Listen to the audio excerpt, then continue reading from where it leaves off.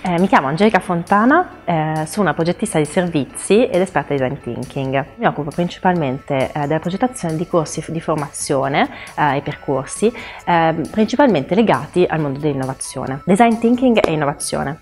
Design thinking, ne avete sentito parlare?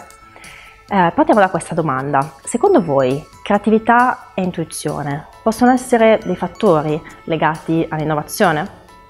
Eh, e ancora, come si fa a essere innovatori?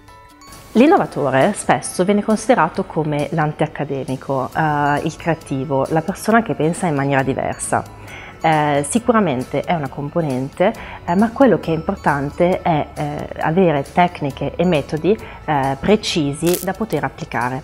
Questo sarà il cuore del nostro percorso di Design Thinking e Innovation, ovvero vi trasferirò dei contenuti e delle tecniche replicabili di innovazione che vi possono aiutare eh, quotidianamente nella generazione di soluzione, nella risoluzione di problemi.